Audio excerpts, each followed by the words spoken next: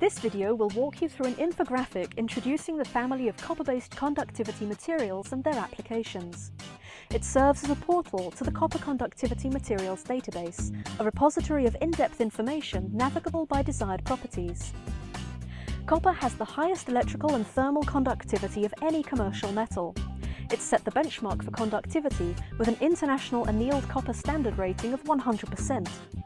This, combined with its ductility, strength, ease of joining and good corrosion resistance, makes copper the conductor material of choice for most electrical applications, including cables, winding wire, busbars and connectors.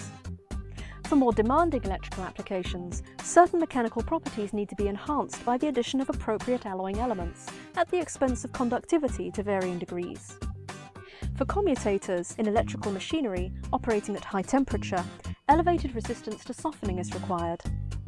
For overhead railway contact wires operating under tension, increased tensile strength is needed to permit the passage of high-speed trains.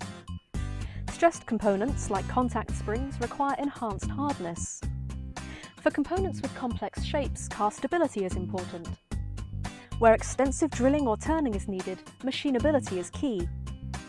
When the highest conductivity isn't essential, cost-effective options exist for components such as pins and terminals. For certain operating conditions, such as under vacuum and in processing operations like brazing in a reducing atmosphere, the removal of oxygen is required.